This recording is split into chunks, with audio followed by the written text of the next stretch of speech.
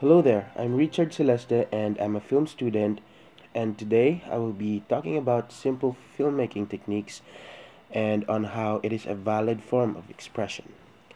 So basically a film combines theater, music, and visual arts. And in my own opinion, a film or a movie is like a food. With the combination of proper ingredients, you can achieve a very good dish. So, so basically there are endless of ingredients out there that you can use to make your own recipe delectable and more delicious. And a film is no different. There are endless techniques, angles, sounds, and styles that you can combine to make a good film. So as you can see in this frame, this is Chiara walking at Venice Piazza. But as you notice, it looks nothing like a home video. It's plain and boring.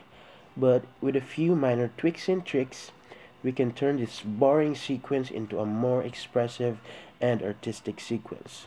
So let's try to do some corrections. First is the color correction. So color is one of the big factors that builds up the atmosphere or the vibes of the whole film. It depends on what mood a filmmaker wants to depict if it's gloomy, exciting, happy, or you can even spike up the saturation to make a airy and happy vibes. And some use a monochromatic colors to emphasize texture, tonal contrast, uh, shape of the subject, and lighting. And it's also a way to escape from the mediocrity of a colored film. And personally, I think that Black and white film can sometimes be more dramatic than a full colored film. So I think I'll use this color correction. And then I think I will put a vignette. That's it. So a vignette is often not intended However, you can use it for creative purposes and to draw the viewer's attention to the center of the screen or the subject. Yeah. And then next is I will crash the blacks. Okay, so I'm not being a racist. It's a video editing term where you basically adjust the contrast to achieve a more crisp shot. The opposite of it is called clipping. It makes the bright part of the frame or a video more brighter to achieve an airy vibes. Next is the audio. So the audio is one of the most important ingredients in a film. If you have a good shot but have a bad audio, the whole video is basically bad. And if you have a bad shot and a good audio, basically it's also bad. so you must make sure that your video must have a good shot and a good video to have a good film. The audio is also very powerful. It has the power to make a scene or a sequence or even a character to convey deeper feelings or moods. For example, we can make the scene more happy using catchy songs or score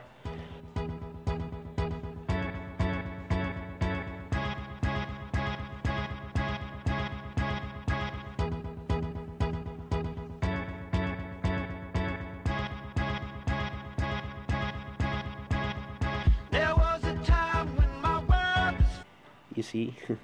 Or we can even make our subject Chiara to look bitchy just by adding a club thumping music.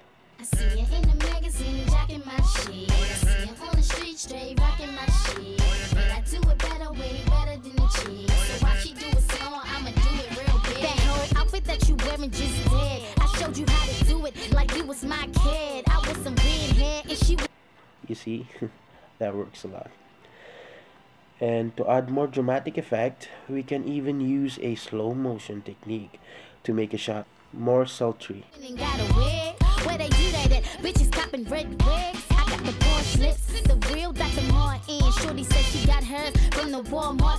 She's sarcastic. I'm just smarting. What I said, did she take it to the heart, man?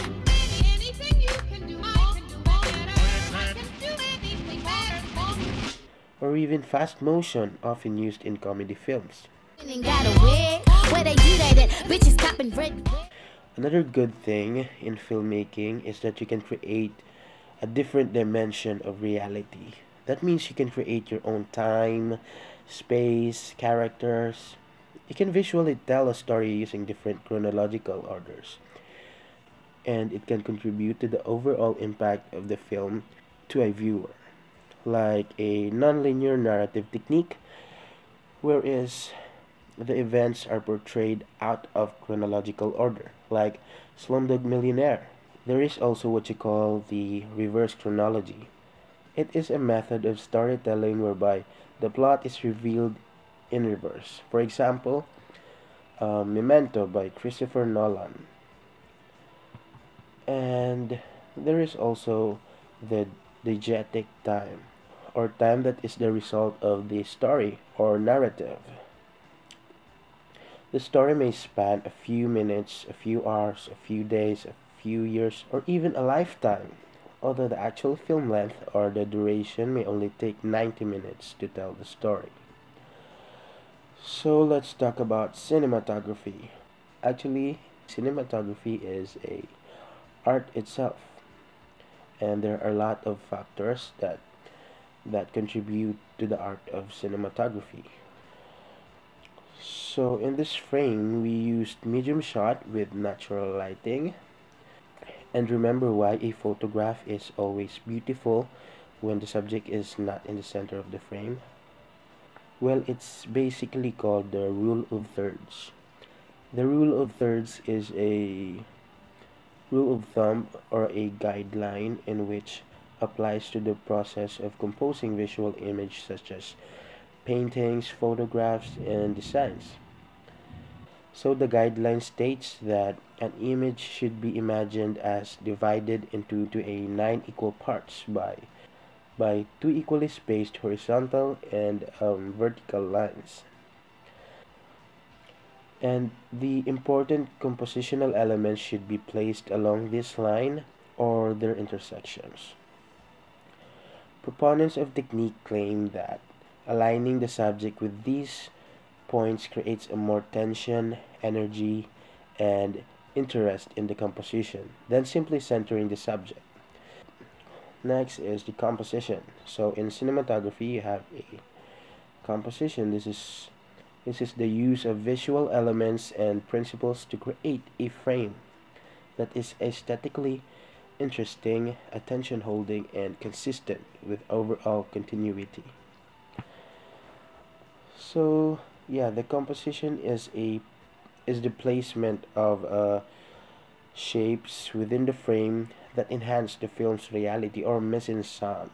Because the frame has fixed boundary, composition will happen automatically. However, good composition must be made to happen.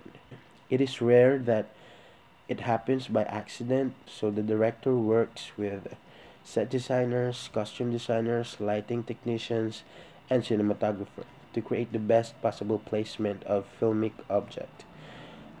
Like for example, actors must be blocked or placed carefully in each shot so they can be clearly seen by the audience. And next, of course, is the visual effects. And this is where the impossible happens. Using CGI or computer generated imagery, we can do anything. For example, Chiara. We can we can turn her face white, black, red, blue, green, and blue. It looks like an avatar. And we can basically do anything. We can even put a clock on the wall or a cabinet or a um, bookshelf. There are no limitations, only your imagination. And then finally, the editing. After the filming is complete, the editing process begins. The editor and the director will decide the length and the order of the shots and piece them together to create a sequence. So it's basically the sequence that tells the story using the visual language of film or film syntax. So that's it. And when they say that a picture tells a thousand words? Well, a motion picture is actually composed of um, 24 frames per second. Imagine how you can express yourself using film. And so that's it. Again, this is Richard Celeste, and thank you for watching.